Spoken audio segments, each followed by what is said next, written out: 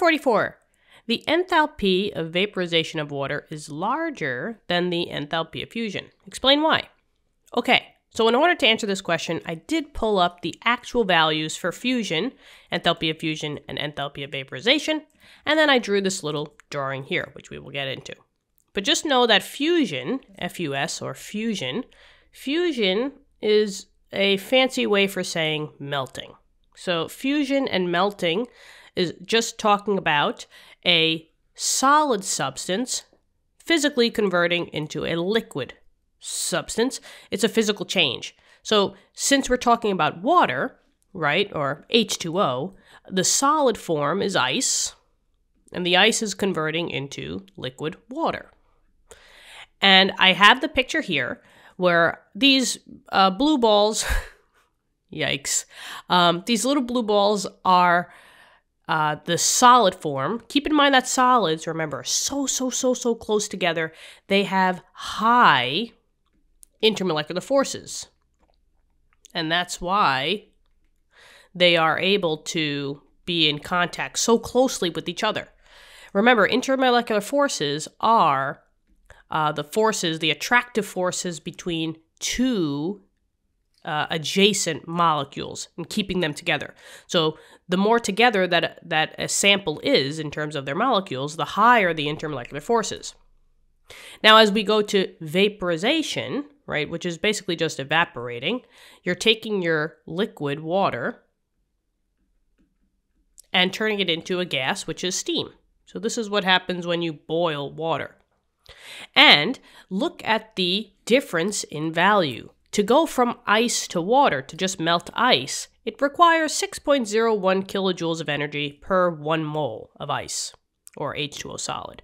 But it takes 44.01 kilojoules per one mole of water to turn it into steam. I mean, from 6 to 44 is roughly about, you know, an 8 times difference because 8 times 6 is 42.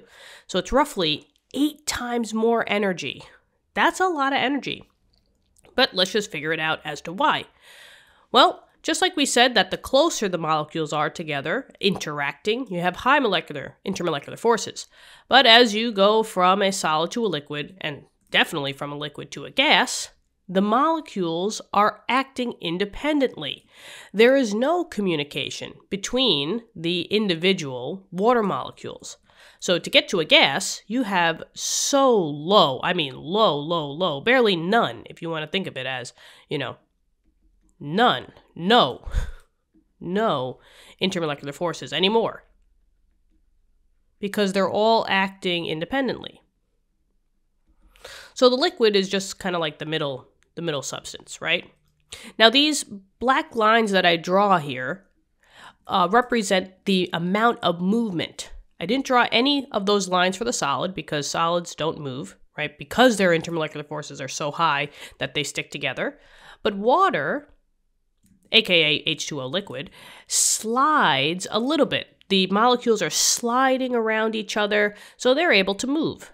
But the gases, since they are not in contact with any other uh, H2O gas molecule, they all act independently, there's literally no intermolecular forces.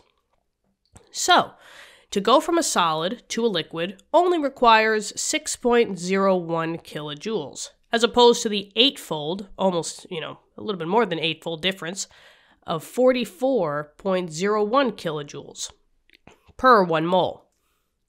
And we can kind of see the difference as to why in the pictures. Uh, my voice is going. That's fun. Ah.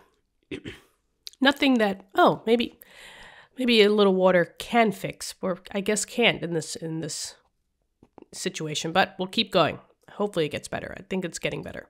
But anyway, so from a solid to a liquid, the difference between the molecules are not that great. Notice how in a solid and a liquid, the the uh, molecules are not all over the container. They're not allowed to be on the top of the container. They have to be, because of gravity reasons, you know, pulled down to the container. But as far as a gas, since these have so high kinetic energy, they're bopping all over the container. They're allowed to be on the top, the sides, the bottom. Nothing is out of question for gases. So, we'll say for fusion, which is the solid to a liquid, the energy that is required is low, low amount of energy, because basically you only need to overcome a small amount of intermolecular forces. They're still very closely together, but they're just able to slide over each other. So low amount of energy because um, only a little bit of intermolecular forces can, you know, are overcome. Inter intermolecular forces are overcome or, you know, taken over. So the molecules can slide over each other. But they're not, you know, all over the container. But in terms of vaporization now, vaporization, where we're specifically talking about a liquid going to a gas, this is a much greater change. Much greater changes require a lot more energy. Because now your gas molecules are acting independently. You need to overcome, so we said molecules need to overcome all molecular intermolecular forces. Intermolecular forces, they all act independently, so that's why you need a high amount of energy. Four times the amount to get those molecules to be bopping up on the top of the container, the side of the container, all over the place. And that's the reason why. I hope this helps. Let me know in the comments. Thank you for tuning in. Um, I'm going to have a large glass of water now and uh, give my voice a little bit of rest. And I hope you guys are well out there and staying safe and staying healthy.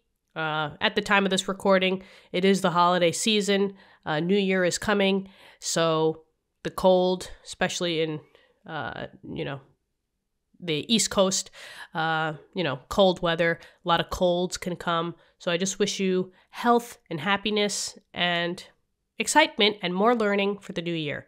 All right, so stay safe, safe, healthy, and I will talk to you soon. Okay, bye bye.